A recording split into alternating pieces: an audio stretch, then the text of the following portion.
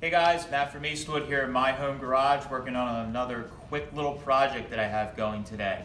Uh, so I have all the custom sheet metal work inside of this little Model T all finished up, everything's fitting pretty well and I just have a ton of Clecos holding all the sheet metal together. I'm ready to weld everything together and get rid of some Clecos. So we're going to be doing a ton of welding with my MiG 175 today. So what I want to do is take the standard nozzle off of my 175 here and we're going to put on this nice little spot weld nozzle and what this does is it has two little standoffs on it that basically get your nozzle set at the exact correct height that you need it to be to make really nice spot or plug welds every single time.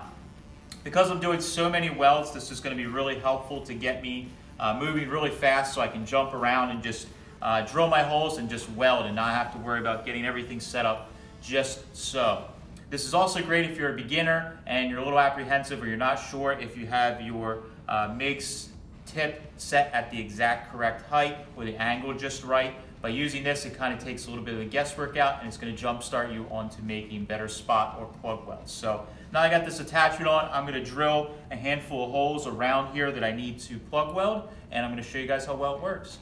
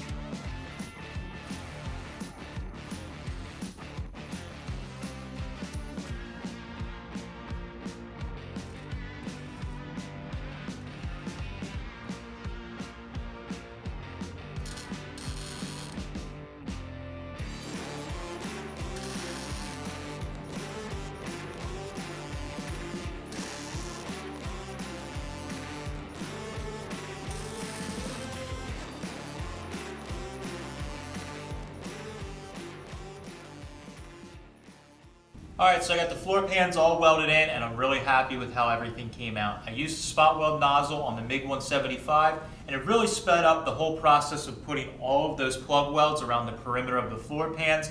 And now I'm ready to move on to cleaning everything up, seam sealing, priming, and finally painting. That's all I got for this one. I appreciate you guys watching. If you want to learn more about the products that you saw in this video, you can click the link down below or you can visit eastwood.com to get all the tools you need to do the job right.